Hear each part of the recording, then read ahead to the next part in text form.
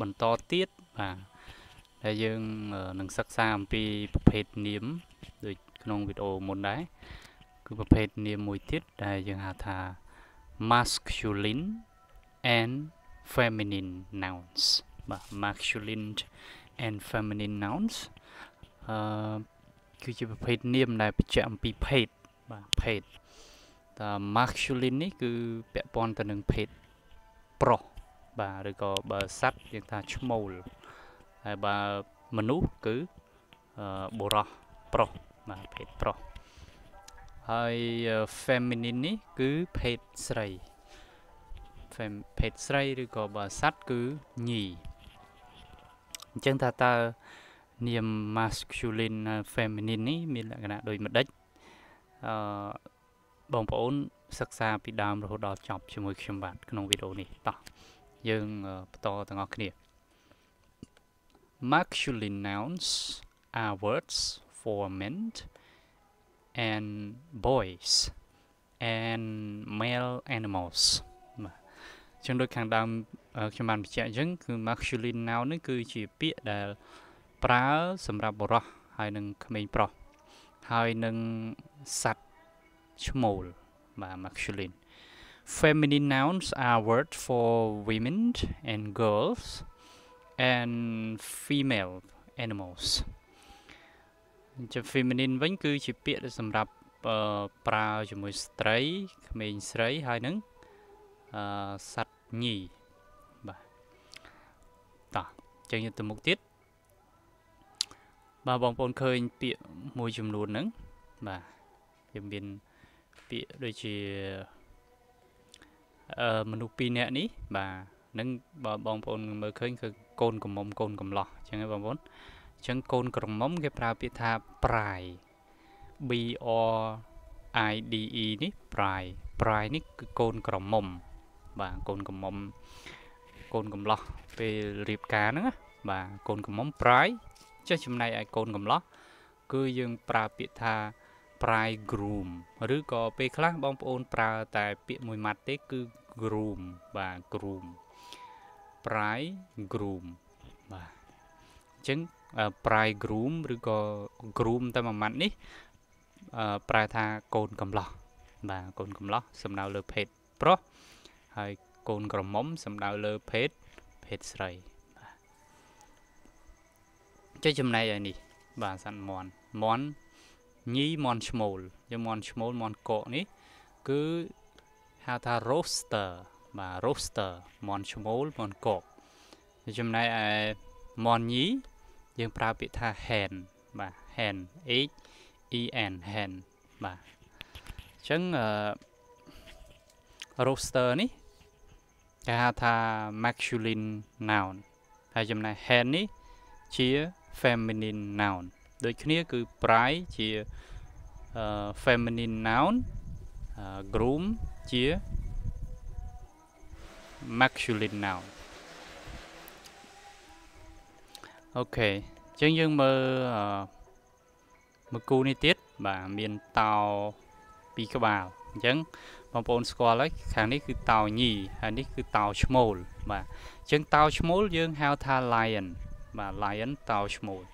ចុះដល់ពេលតោញីតោញីគឺ lioness lioness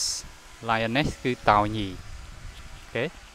បាទអញ្ចឹងបែងចែកភេទគ្នាអញ្ចឹងតោញី lioness ដែលជា feminine noun ចំណែកឯតោឈ្មោល lion គឺជា masculine noun បាទបាទក៏ដូចគ្នាដែរ king king គឺព្រះមហាក្សត្របាទអឺស្ដេចបាទស្ដេចប្រុសបាទហើយ queen វិញគឺស្ដេចស្រីបាទ queen ព្រះអឺ មហាក្សត្រយានីបាទអញ្ចឹង king ព្រះមហាក្សត្រ queen ព្រះមហាក្សត្រយានីបាទប្រពន្ធស្ដេចបាទអញ្ចឹង king គឺជា masculine noun ហើយចំណែកឯ queen គឺជា feminine noun បាទអញ្ចឹងតាមរយៈឧទាហរណ៍នេះខ្ញុំគិតថាបងប្អូនអឺយល់ថាអ្វីជា feminine noun អ្វីជា masculine noun បាទខ្ញុំមានពាក្យផ្សេងច្រើនទៀតដូចជា boy boy សំដៅលើក្មេងបាទ ប៉ុន្តែក្មេងប្រុស boy ហើយ girl ក្មេងស្រី man បុរស woman ស្ត្រី prince អឺ prince គឺព្រះអង្គម្ចាស់អឺសំដៅលើប្រុស princess អឺព្រះអង្គម្ចាស់ស្ត្រី យើងសំដៅលើអឺភេទស្រីបាទ steward stewardess stewardess waiter waitress អញ្ចឹងមួយជួរនេះគឺជា masculine ហើយមួយជួរនេះគឺជា feminine noun បាទបងប្អូនស្គាល់ពាក្យផ្សេងទៀតបងប្អូនអាចសរសេរក្នុង column comment បានបាទតែយើងទៅសិក្សាមួយមួយចំណុចទៀតអំពីលក្ខណៈពិសេសរបស់ masculine and feminine Here are some more masculine and feminine nouns for people បាទចឹងយើងមានផ្សេងទៀតដូចជា actor បាទ masculine actress feminine បាទតួសម្ដែងប្រុសតួសម្ដែងស្រីតួសម្ដែងប្រុសយើងប្រើពាក្យថា actor តួសម្ដែងស្រី actress បាទ brother sister emperor empress បាទ father mother gentleman lady grandfather grandmother grandson granddaughter មានន័យទៀតអឺ headmaster head mistress man woman master mistress nephew niece បាទមានន័យផ្សេងទៀតដូចជា prince princess son daughter uh, steward stewardess uh, uncle aunt wizard witch បាទអញ្ចឹងបងប្អូនស្គាល់ភេទបាទប្រភេទ masculine ហើយនិង feminine noun អញ្ចឹងគូគូវាតែខុសតែភេទភេទប្រុសភេទស្រីអញ្ចឹងទៅបាទ Uh, masculine nouns belong to the masculine gender. Feminine nouns belong to feminine gender.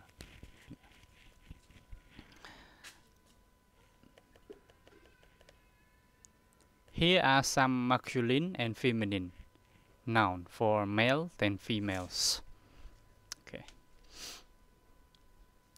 Male, female. Male uh, ប្រុស female ស្រីឬក៏ថា male អឺឈ្មោល female ញីអូខេសម្រាប់អឺសត្វបាទ example chicken បាទ chicken animal រួមមែនទេបងប្អូនរួមតែដល់ពេលអឺ roaster សំដៅលើមាន់ឈ្មោល hen មាន់ញី cattle បាទសត្វគោក្របីអឺរួមគ្នាដល់ពេល bull គោឈ្មោល cow គោញីបាទ deer deer សំដៅលើក្តាន់ តែដល់ពេលក្តាន់ឈ្មោលយើងហៅថា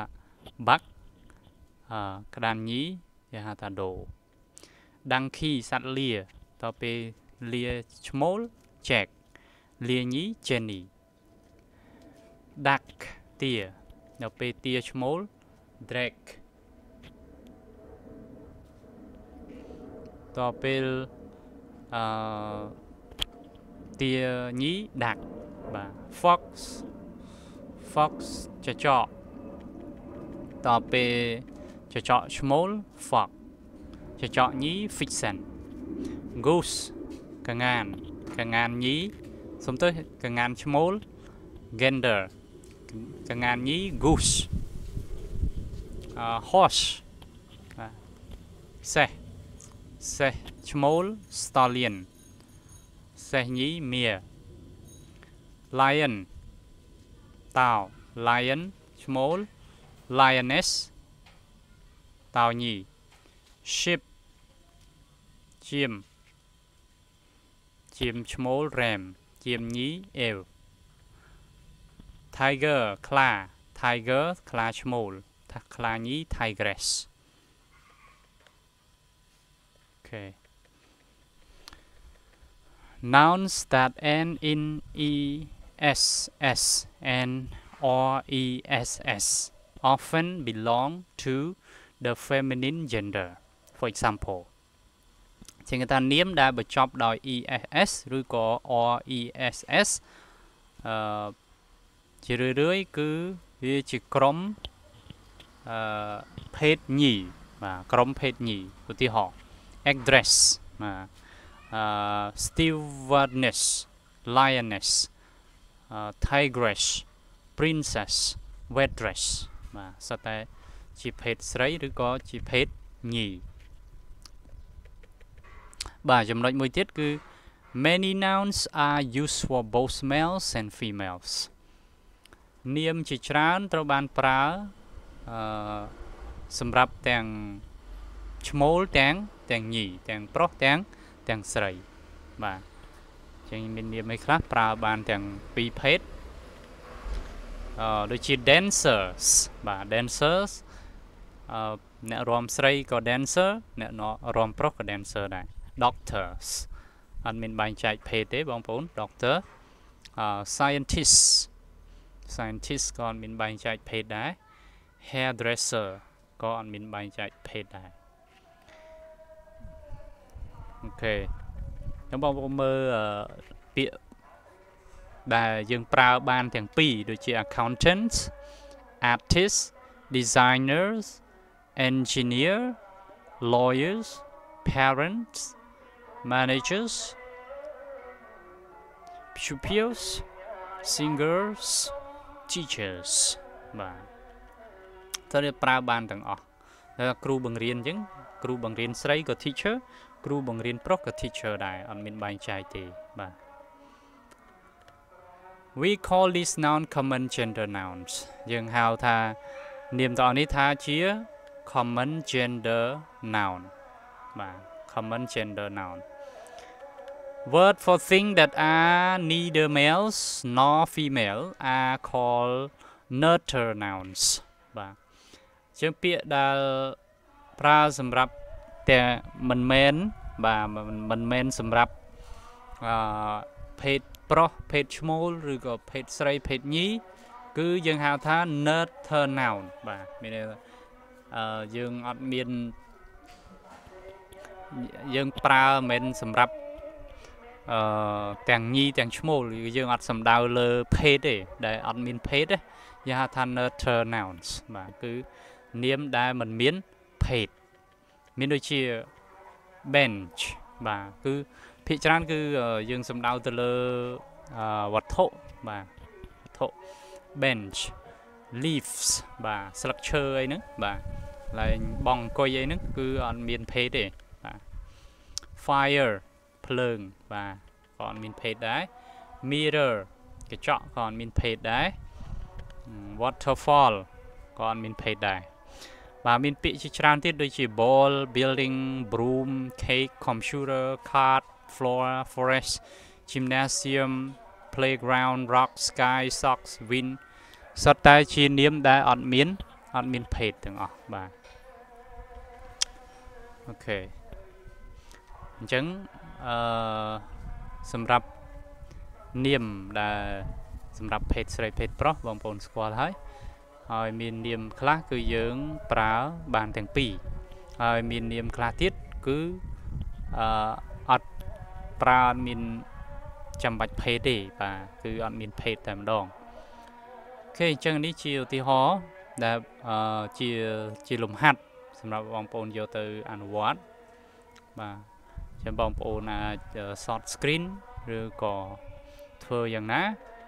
បងប្អូនអាចយកលំហាត់ហ្នឹងទៅ ទៅធ្វើបានបាទអញ្ចឹងមាន ពីរកឡោនមាន masculine feminine ចឹងបងប្អូនដូចថា master feminine តើអ្វី uncle អ្វីហើយសិតតែអ្វីដែលបងប្អូនរៀនមុនមកបងប្អូនអាចអឺទាញវីដេអូត្រឡប់ទឹកថយក្រោយទៅបងប្អូននឹងឃើញហើយបាទចម្លើយខ្លះដែលបងប្អូនអាចបំពេញបានបាទអរគុណច្រើនអញ្ចឹងមានតែប៉ុណ្្នឹងសម្រាប់វីដេអូស្ដីពី masculine ហើយនិង feminine noun ហើយជួបគ្នាក្នុងក្នុងវីដេអូបន្ទាប់ដែលខ្ញុំលើកពីប្រភេទនាមផ្សេងទៀតដែលបងប្អូនត្រូវការសិក្សារៀនសូត្របាទជួបគ្នានៅក្នុងវីដេអូថ្មីសូមអរគុណ